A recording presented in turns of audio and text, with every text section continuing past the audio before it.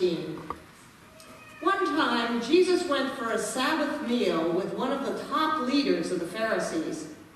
Jesus turned to the host. The next time you put on a dinner, don't just invite your friends and family and rich neighbors, the kind of people who will return the favor. Invite some people who never get invited out, the misfits from the wrong side of the tracks. You'll be and experience a blessing. Won't be able to return the favor, but the favor will be returned. Oh, how it will be returned at the resurrection of God's people. That triggered a response from one of the guests.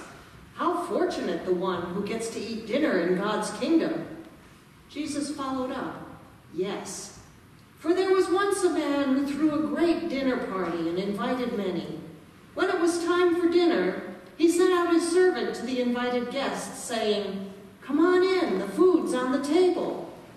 Then they all began to beg off, one after another, making excuses. The first said, mm, I bought a piece of property and need to look it over. Send my regrets. Another said, I just bought five teams of oxen and I really need to check them out. Send my regrets. And yet another said, I just got married and need to get home to my wife. The servant went back and told the master what had happened. He was outraged and told the servant, Quickly, get out into the city streets and alleys. Collect all who look like they need a square meal, all the misfits and homeless and wretched you can lay your hands on, and bring them here. The servant reported back, Master, I did what you commanded and there's still room. The master said, Then go to the country roads. Whoever you find, drag them in. I want my house full. Let me tell you, not one of those originally invited is going to get so much as a bite at my dinner party.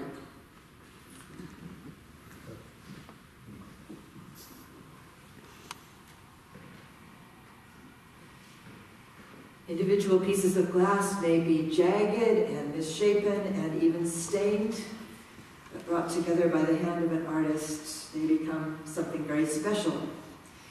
Think of what happens when light shines through stained glass. Think of how the glass itself rejoices in light. Think how the color plays out into the room. Think of pictures painted in glass coming alive. Friends, there is an invitation. Our God, who is Spirit, pulls at each of us, no matter how stained we know ourselves to be. In God's light, our deepest being comes alive, and all our jagged edges can be caught up into beauty. Our lives can sing with beauty if we say yes. The Bible story lays it all out. In the beginning was the invitation. The host invited a whole list of worthy people. Now, I learned from the commentaries I read this week uh, that there was no such thing as RSVPs in those days. What happened is that you would receive an invitation, and then sometime later there would be a follow up. There would be a reminder, and that's when the question would come Will you be coming to the party, yes or no? It means that maybe the behavior of those invited guests that seems so appalling to us wasn't quite so bad. It was simply that at the second stage of the invitation process, when it was time for them to say, yes, I'm coming, or no, I'm not, they all said, thanks, but no. Let's pause there for a bit of soul searching. There is that invitation. Come, says the Spirit, let's enjoy each other's company. Come for a walk by the lake. Come and feel the sun on your face. Commune with a tree. Rejoice in a cluster of daffodils. Read a poem. Seek out a friend. Exercise your body or your imagination. Breathe. Be still and know. How often do we say yes? And what's our resistance about that?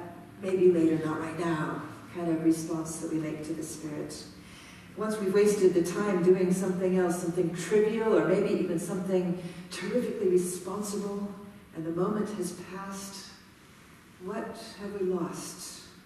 What could have been? How different could our lives be if we made a habit of saying yes? I wonder if it isn't our greatest sin that we say no over and over again. Nobody else will criticize us for that. Buying oxen is serious business. You don't just go running off to dinner parties. Uh, but then the moment is gone. And essentially, we've said to God, Don't call me, I'll call you. Let's just leave it that you stay out there, and I'll let you know when I need you. Which is sad, because it means that we're turning our backs on love. The story goes on. There is that invitation, and it's as though the invitation takes on a life of its own. The table has got to be filled, the food must be enjoyed. And so the guest list expands beyond the acceptable people to the questionable people, and then beyond the questionable people to the truly scruffy people. And you look at that party once it's finally underway, and you just shake your head.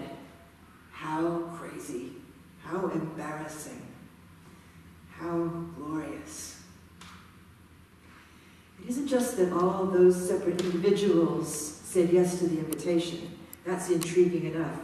But it's what happens when they're all together around the table.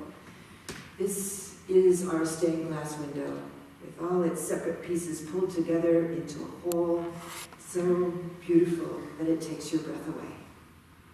All those different pieces, part of something bigger, something that makes a God shaped picture when the light shines through something that transforms all those colors and shapes and sizes into a great belonging in which each finds a meaning it didn't know it had. Isn't this what the church is supposed to be? Can you imagine how the light could shine through us if we really lived up to the song we, we sang, All are welcome, all are welcome in this place? If somehow we could live that invitation so that people heard it and believed it and took us by our word. We know the truth of it because of the way the shivers run up and down our spines when we sing the words.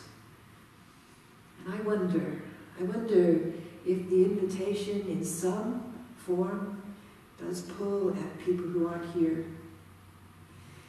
I know that Jesus' parable isn't just about the church. We would rejoice in a city that made places at the table for all the people who live here, or a world that treated each person as honored and worthy.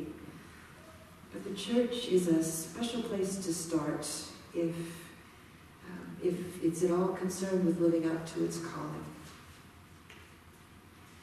That stained glass metaphor reminds us that uh, we're a pale imitation of what we could be if each new person God might lead were here with us.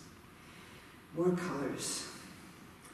Yesterday I heard a great story. I was at a, a minister's do over in Seattle, and one of the retired ministers was telling me that in her church uh, last month, Black History Month, every Sunday their pastor brought a different story of some great uh, figure, African American person who had made a tremendous contribution to society by week four, um, every week the, the kids had received a worksheet, you know, it's a bit of coloring and so forth, and a story on there. By week four, this retired minister sitting in his seat um, heard a little girl behind him say, um, This is all wrong.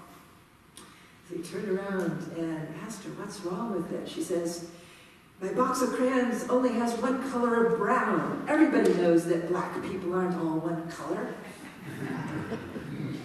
That was absolutely fabulous. I wish that I had her view of the world. I'd love to see that richness of variety around the table that we set here. Not just what we look like on the outside, but our life experience, our different cultural expectations, our social status, our outlook talents, our dreams, the people who could be here to enrich that. Think how the light would shine So, as the parable urges us to say yes when we are invited to the feast, it also challenges us to take part in the inviting. And it goes straight for the biggest obstacle to the inclusive table. I'm sure you caught it. Our biggest problem, according to the parable, is reciprocity. We are taught to reciprocate. So, Thursday night, Dale and I were invited out to dinner with some friends we haven't seen for a long time. They were passing through the area. And we weren't quick enough. When the check came, they grabbed it before we could get hold of it, and they paid for the meal. And it was pretty expensive. And now I'm anxious, thinking about how are we going to do this? How can we host them next time they come to town? You drove last time, I'll drive today. Gotta keep it even. My turn to offer you a lift, right? So if we need to use your car, at least let me pay for the gas, right? Am I right in suspecting that we are most comfortable when there's a little bit of credit on our side of the ledger? I drove last time. I don't mind driving again. I'm happy to do that. But let the balance go the other way, and our discomfort starts to mount. We've all known people in this world who were takers. God forbid that we should be seen as one of those people. Watch it happen in the workplace I'll scratch your back, you scratch mine. Feel the urgency when it happens in our public life. We need campaign finance reform. We need to do something about that Citizens United decision that the Supreme Court took. Because clearly, any politician who's taken a big donation from a corporation is going to be beholden to them, which is not good for our democracy. We watch as the NRA keeps the whole of our country in a stranglehold because they've donated so much money and they're just calling in the loyalty in return. Reciprocity demands things like that. But even worse is when we apply it to God. Oh God, if you'll just heal me of this cancer, I'll do whatever you ask. If you just get me through this exam, I'll read my Bible every day. I'll go to church every Sunday. I'll go be a missionary, whatever you ask. Get me through this one. Give lots of money to the church, whatever. What nonsense. Our parable says, forget reciprocity. Just get over it. The kingdom of God doesn't work that way. Freely you have received, freely give. Should you happen to throw a dinner party, don't invite the people who will turn around and invite you back. Invite people who have no way of, of inviting you back. And don't fall into the trap of being generous in order to earn points with God. Recognize once and for all that there is no way on earth that you can repay the grace and mercy of God. None. There's no obligation. There is only that invitation. Come, God says. Come so we can enjoy each other's company. Come and bring who you are to the crazy and glorious, beloved community I am creating. Come and add your spice to the party, your color to the picture. Don't worry about your jagged edges or your stains. Trust me, you'll fit.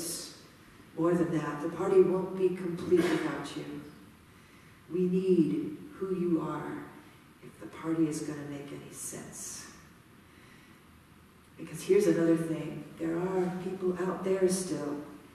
And the invitation is never more compelling than when the light shines through a community God has created, wild and wonderful, and captures the imagination of somebody out there. So say yes next time the invitation comes to you unique to you. Say yes. Say yes to the party that brings us together. Say yes when the invitation wants to use your voice or your talents to reach somebody else. And let the light shine through the way we say yes together.